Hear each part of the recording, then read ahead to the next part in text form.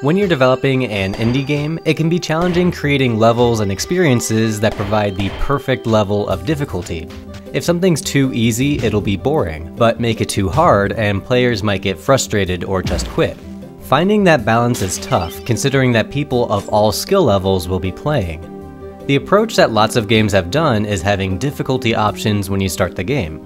This helps because players generally have an idea of how skilled they are, so at least they can put themselves in a category that they think is appropriate. But even still, it's not always easy to tell which option is best for you. For me personally, I like choosing hard difficulties, but some games take it too far and I end up frustrated. So sometimes I cautiously choose normal instead, and I end up with a less enjoyable experience for myself.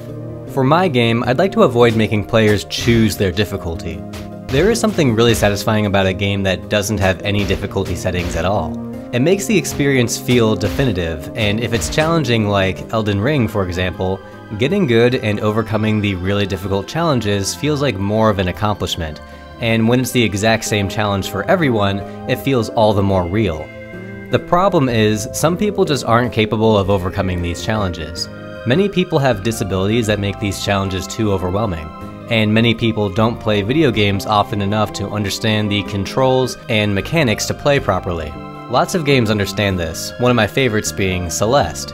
This game is really hard, but in the menu there are assist options, which let the player adjust certain aspects of the game to make it easier to play.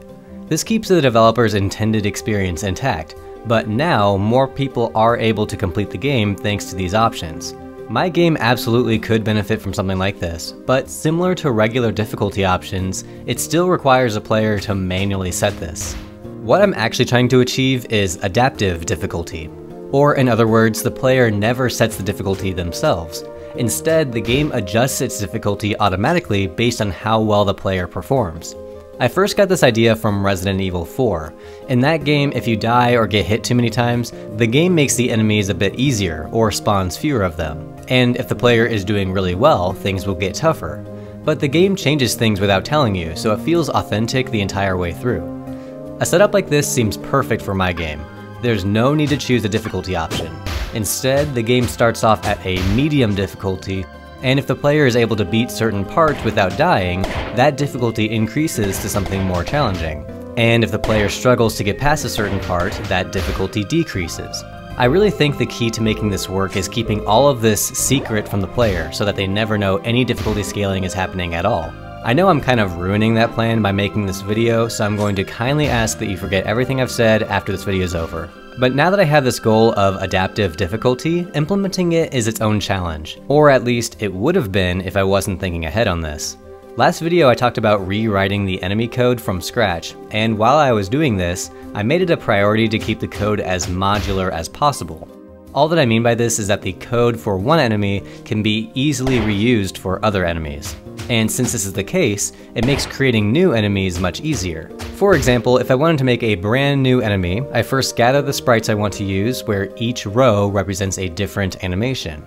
Then to make it behave like an enemy, I just need to define this list of stats, where the different combination of values results in unique behavior.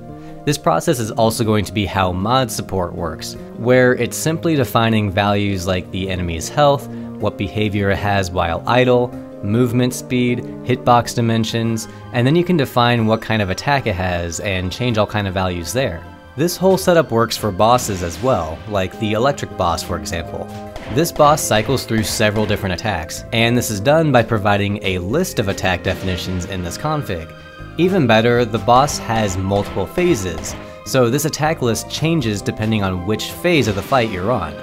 This foundation for enemy creation will make the development process so much easier for myself, modders, and also it's what makes the adaptive difficulty system possible. Since each enemy is defined by these different values, it's perfectly reasonable to create multiple different versions of this enemy, one for each difficulty level. To make an enemy more difficult, I can increase the speed values, reduce the time between attacks, give it more health, change how many projectiles it shoots. There really are a lot of options. And as the player goes through the game, I can sneakily change which version of the enemy to spawn, so hopefully the challenge is always at an appropriate level. I'm always open to feedback on this, so if you have any suggestions for me to consider, let me know in the comments. Thank you so much for watching.